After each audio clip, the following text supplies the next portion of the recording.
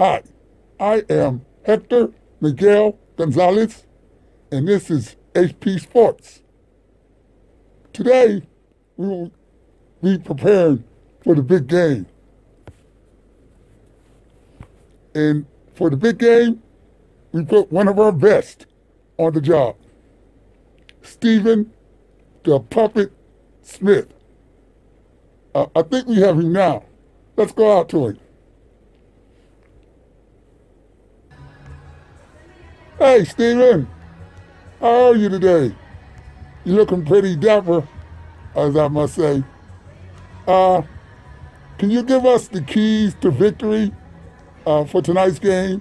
And who are the key players to watch out for tonight?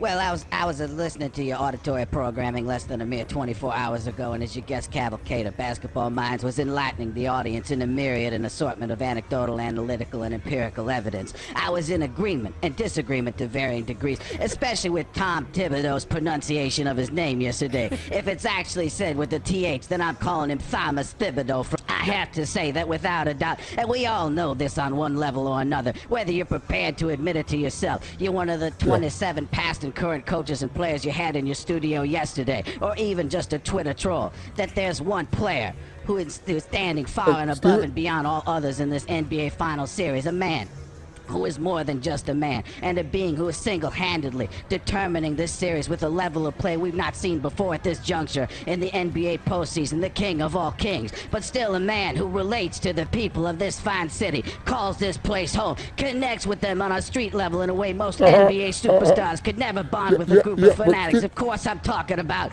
Matthew Dellavedova is ready for the limelight and will continue to dominate this series as he did, even with his musculatory system lacking the proper hydration and lubrication necessary to sustain the highest level of athleticism a professional athlete needs to compete with utmost efficiency. By the way, as a side note to the middle of this digression, the human body is essentially 75% water, and I have first-hand knowledge that Matthew Dellavedova, by the end of the fourth quarter Tuesday night, was actually down to negative three. And when I say I have first-hand knowledge, I mean I'm obviously making this personal medical statistic up. Negative 3% isn't possible. I did not consult Web- WebMD for this, unless Web stands for the, uh, the Web of Untruths, and MD stands for Matthew Dellavedova. now, off on a tangent, in the middle of this digression side note, not even the Ronco 5-tray food hydrator, dehydrator, could pull off such a feat, yet Delva Della Televanova, as they call them in various Latin American countries, is up to the task, even if it's a fictitious task. And before I go, I would be remiss to not acknowledge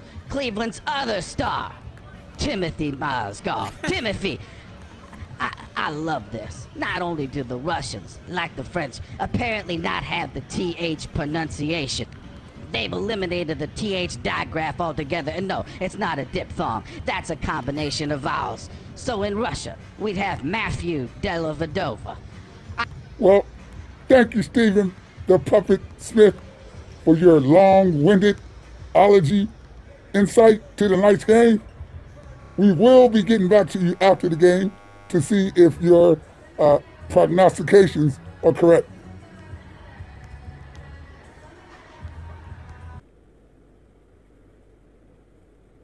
Wow, Stephen the Puppet Smith can really go at it.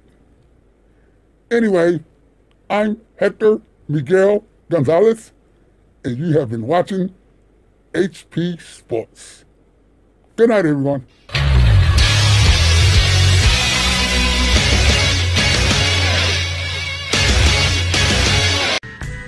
Situation got me pacing the floor, waging a mental war like so many times before. Some feelings can't be ignored. We want more. Looking at the front door, the hidden chambers must be explored. Transform, take another form, the light body.